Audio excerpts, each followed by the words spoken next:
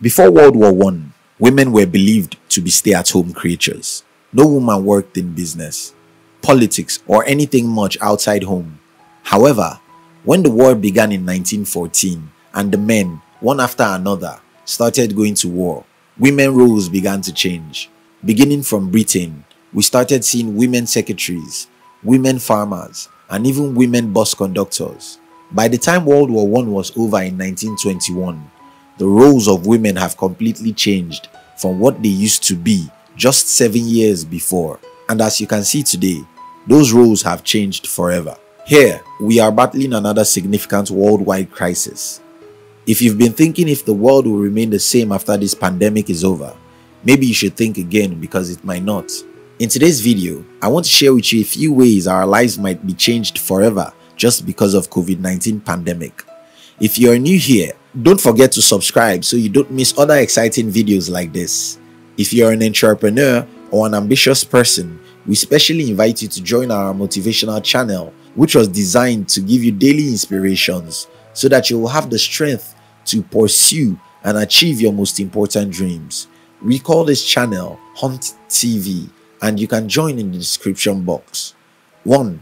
More companies will consider remote staffing and this might affect you. All my life, I've never traveled more than 5 kilometers from work until recently when I moved my company's office to a new location. And even with that, I only travel 22 kilometers once a week. Every other day, I work from home because I've always loved to work from home. I try as much as possible to make almost everyone in my company also able to work from home. So, remote staffing is a big thing for us, but that's not the same with many other companies. That will change very soon, and it will affect so many people because if a company can figure out how to get people to work from home, they can as well figure out how to get people to work for them from another state or even another country. That is a big problem for many people because now the competition for your job might as well not be from your city or even your country anymore. Someone in my country might be competing with your job, and someone outside your continent might just be the next person to get your job. How then can you prepare for this change? First, increase your value in the marketplace. Invest heavily in self development so you'll be better than most people. This is what I always say. If today I'm an employee, my goal will be to be among the top 1% most qualified in my field. These kind of people are not easily replaceable. So whatever comes will always favor them. The second thing is stop looking where your eyes can only see. Start looking at the world as a single city. Look and search for opportunities in other places, in other states, and even from other countries. 2. Handshaking. Kisses. Maybe it's gone. According to deepenglish.com, the history of handshakes dates back to the 5th century BC in Greece. It was a symbol of peace to show that I'm not carrying a weapon. You might think that was a long time ago and such a custom can't be changed. Well, think about the role of women in society.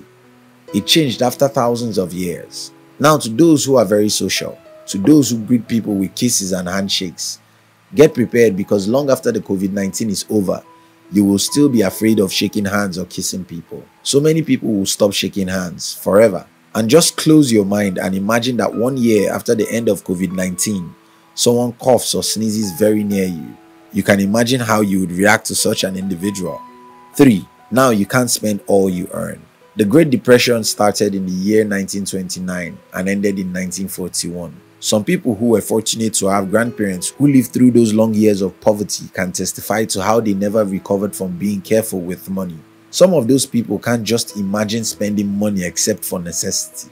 Never. This is because they have seen how unexpected crises could make life miserable. For most of us, however, we have never seen such things. And that's why most people are not careful about how they spend money.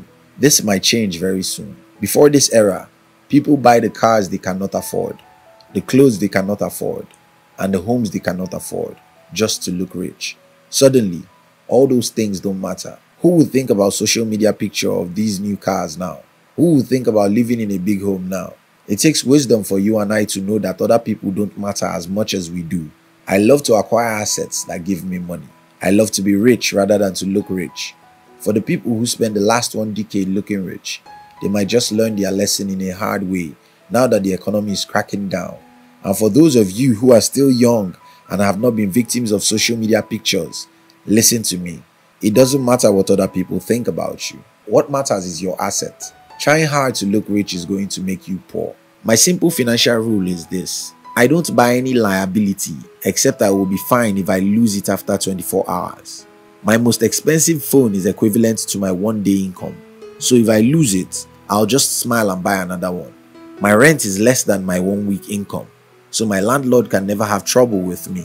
Even my car is equivalent to my 2 3 weeks income. I live so low so that I can be happy. I can't afford to have hypertension because someone steals my phone. I can't afford to worry about the payment or loan of a car. I mean, it's just a car designed to move you from point A to B. It's just a phone designed to make you communicate with other people and maybe surf the internet. I just can't get my head to understand how people waste money just to look rich. But I hope a few people will learn this lesson now. I hope this crisis will change some people's financial lives forever. I hope a few people will learn their lessons to stop trying hard to look rich. I'm an opportunist and I believe every change comes with some opportunity. While COVID 19 might change the lives of every one of us, I do hope some of us will change for better. And just before you go, watch other videos on YouTube. If you are an entrepreneur or an ambitious person, we invite you to join our motivational channel. The objective of the channel is to give you daily inspiration so that you will have the strength to pursue and achieve your most important dreams. We call this channel Hunt TV, and you can join in the description box. We love you.